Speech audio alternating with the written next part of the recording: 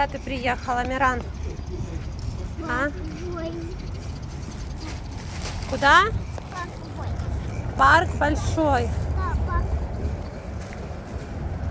Пойдем.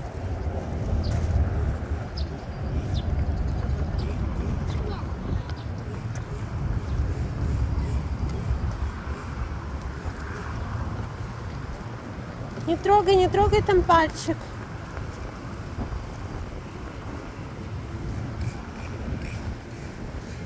По газону не ходим. Идем. Помчал.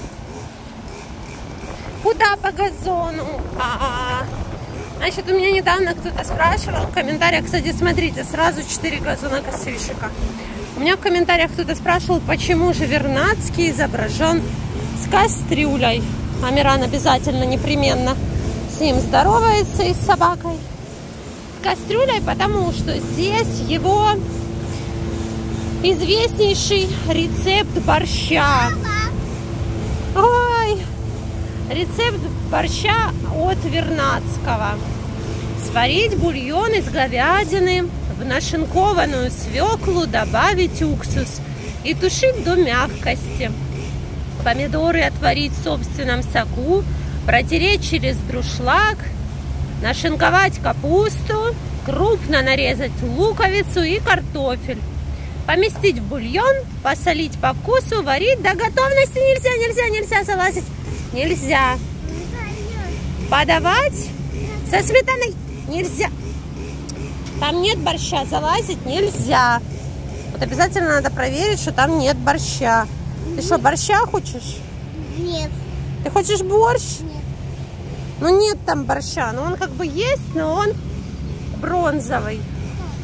Бронзовый борщ. Сейчас напишите. Такое только бывает на Украине. Давай. Ой.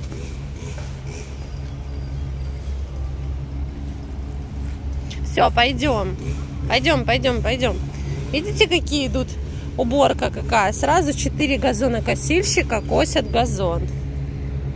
И еще трактор, на который грузят э, всю скошенную травку. Амиран, идем здесь, там нельзя идти, надо обойти. Надо обойти все, потому что там идет уборка. Для парка вообще сегодня прекрасная погода.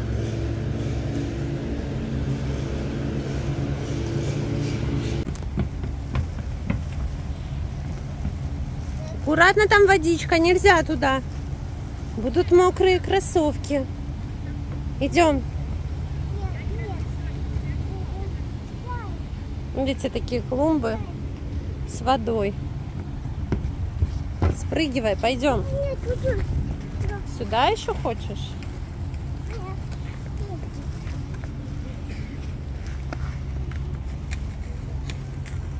Листик? И что это будет? А, ты будешь в водичку их пускать, да? Листик в водичку пустил? Это да. Здорово как.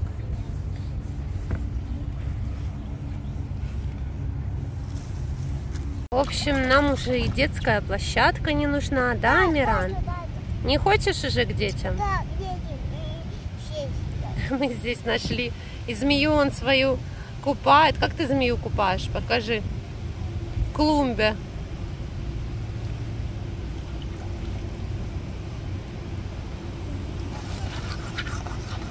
Она у тебя плавает там? В бассейне плавает?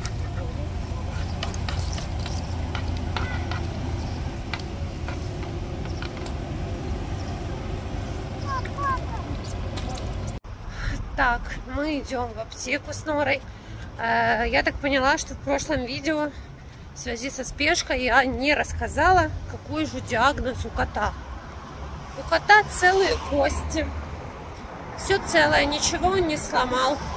Было подозрение на пробитое легкое, но с легкими все в порядке. У него просто, я так понимаю, сотрясение в связи с ударом об машину. И еще он себе прокусил язык.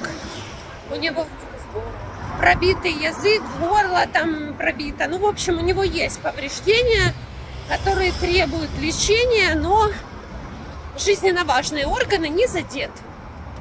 Поэтому у Нори выписали лист назначения. Она сегодня с папой забирала кота. Нора, поздоровайся с людьми. Здравствуйте. В общем, Нора забирала кота и выписали лист назначения, какие нужно купить лекарства в ветаптеке, какие лекарства надо купить в обычной человеческой аптеке. Сейчас мы за ними идем. Мы сейчас только с Амираном вернулись с занятий, покушали. Э, ну, в общем, бабушка освободилась. Сейчас бабушка посидит пока с Амираном.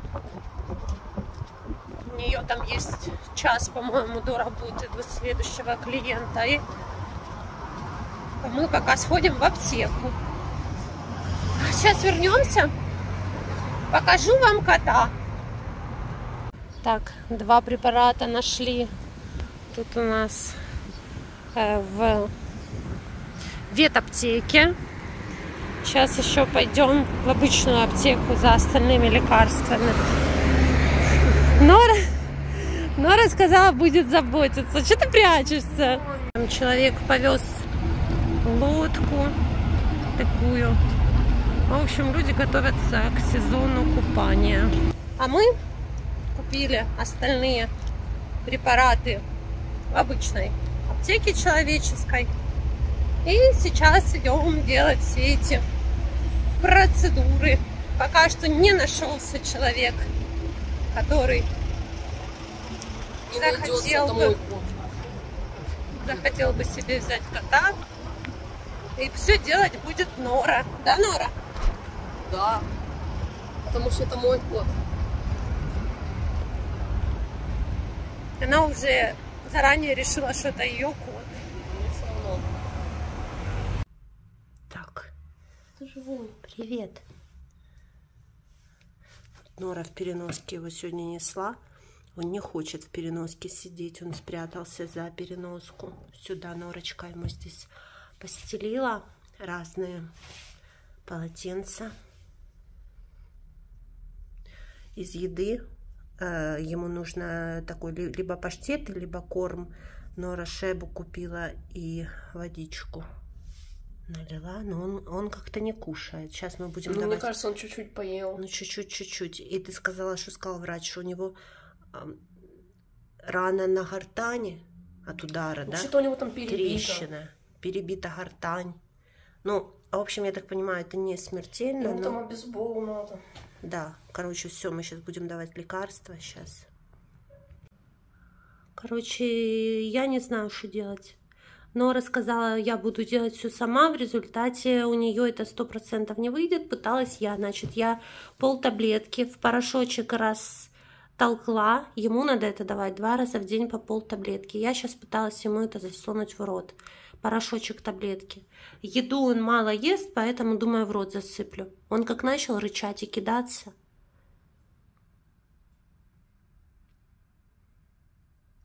Пытается кусаться. Я не знаю, что делать в такой ситуации. Ой-ой-ой. Как дать лекарство, чтобы кот не нервничал?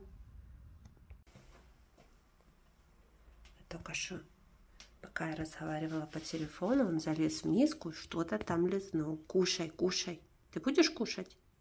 Кушать будешь? Он из принципа не хочет есть, пока ты с ним стоишь. Наверное. Так что уйти нам. Значит, звонили сейчас доктору. Доктор сказал, что когда, ну, типа, не трогайте его день-два, не насилуйте его лекарствами, а потом можно как-то полотенцем его завернуть. И, ну, мы же даже язык ему не можем сейчас обработать.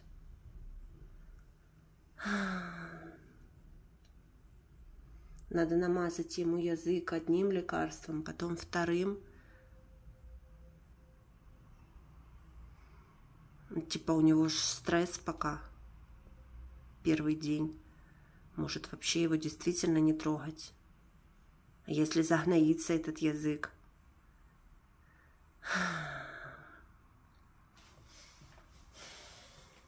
Не дается в руки, а рычит, шипит, вырывается.